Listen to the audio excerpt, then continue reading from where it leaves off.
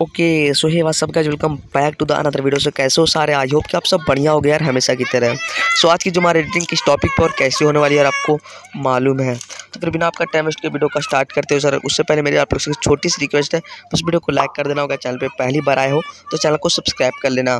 और हमेशा की तरह इस फ़ोटो एडिटिंग का भी बैकग्राउंड पेन जी आपको मिल जाएगा लिंक डिस्क्रिप्शन में। तो आप वहाँ से जाकर आराम से यार डाउनलोड कर लेना वीडियो देखने के बाद पहले आप वीडियो देख लें वो बैकग्राउंड पेन जी को कहाँ यूज़ करना और कैसे करना। हो तो फिर चलो चलते हैं वीडियो की तरफ़। सो so, कुछ इस टाइप की एडिटिंग होने वाली है यार जैसा कि आप लोग अभी स्क्रीन पे देख रहे हो। तो हम लोग आज इस वीडियो के अंदर कुछ इस टाइप की एडिटिंग करने वाले हैं जो कि देखने में काफ़ी अमेजिंग लग रहा है यार एकदम क्रिएटिव टाइप का। तो फिर बिना आपका टाइम वेस्ट किया यार चलते हैं। तो सो ये रहा बैकग्राउंड ठीक है? एंड मैं फिर से बताता हूँ कि बैकग्राउंड पिन आपको लिंक डिस्क्रिप्शन में मिल जाए तो वहाँ जाकर आराम से डाउनलोड कर लेना ओके सो हम लोग अपनी इस बैकग्राउंड को ओपन कर लेंगे पिक्सेट पिक्सेट एप्लीकेशन के अंदर ओके सो पिक्सेट एप्लीकेशन के अंदर जब हमारा बैकग्राउंड ओपन हो जाएगा एंड उसके बाद हम लोग यहाँ से ओपन हो जाने के बाद हम लोग को चले जाना है। ऐड फ़ोटो की तरफ़ हम लोग को चले जाना ओके जैसे कि आप लोग यहाँ पे ऐड फ़ोटो आप लोग को दिख रहा होगा पिक्सट एप्लीकेशन के अंदर। सो हम लोग अपने ऐड फ़ोटो की तरफ़ जाने के बाद हम अपने मॉडल को लाएँगे जो कि मैं पहले से कट आउट करके रखा हूँ। यार, आप लोग का टाइम बचे, इसीलिए। सो अपने मॉडल को ऐड कर लेना है एंड ऐड करने के बाद आप परफेक्ट पोजीशन दे देना बैकग्राउंड के हिसाब से यार एडजस्ट कर लेना। जैसा कि मैं कर रहा हूँ, अगर इतना भी रखोगे तो काफ़ी अच्छा लग रहा है देखने में बट हम लोग को उतना नहीं रखना है कुछ इतना रखने का, ठीक है? परफेक्ट यार एडजस्ट कर लेना यार अपने मॉडल को बैकग्राउंड के हिसाब से ओके एंड ये हो जाने के बाद हम लोग सिंपली यहाँ से डन कर देना। डन ही करेंगे ना भाई, यहाँ पर तो कुछ काम अब है नहीं। तो हम लोग यहाँ पर हो जाने देते हैं एंड डन कर देंगे अपने मॉडल को जब अपने बैकग्राउंड के हिसाब से परफेक्ट पोजिशन दे देंगे। उसके बाद हम लोग सिंपली यहाँ से डन कर देना एंड उसके बाद, उसके बाद हम लोग चले जाएँगे टूल्स की तरफ़ ओके जैसा कि आप लोग को यहाँ पे टूल्स दिख रहा होगा। तो हम लोग टूल्स के अंदर चले जाएँगे एंड टूल्स में जाने के बाद हम लोग एडजस्ट में चले जाएँगे।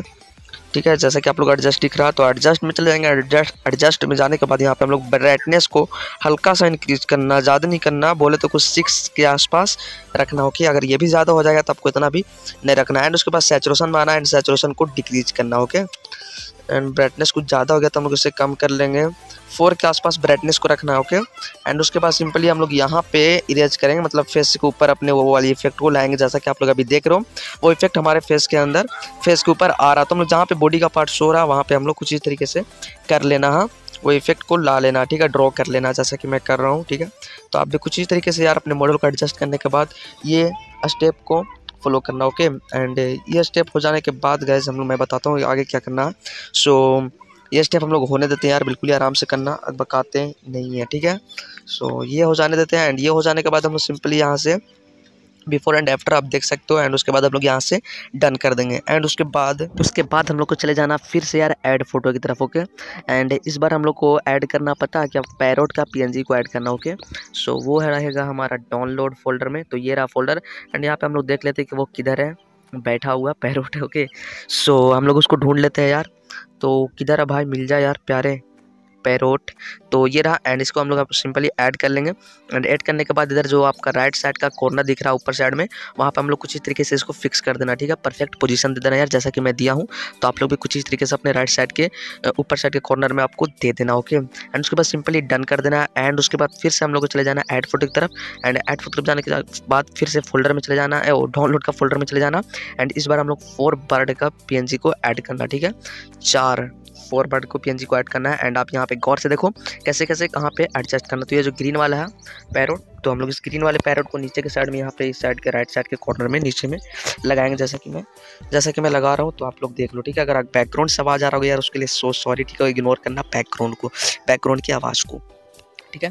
एंड उसके बाद ये जो फ्लाई कर रहा अजीब सा लग रहा ना, कैसा लग रहा है कि हमारे बॉडी को ये नोचेगा ओके मतलब क्या वर्ड बोल रहा हूँ, नहीं मालूम बट आप लोग समझ रहे हो जो मैं बोलना चाह रहा हूँ। शूज़ को फ्लिप करके कुछ तरीके से राइट साइड का कर लेना एंड उसके बाद यहाँ पे जो है ना, उसके बाद यहाँ पे लगाना एंड इसका जो फ़र्स्ट पैर जो है उसको इरेज कर देना कुछ ही तरीके से।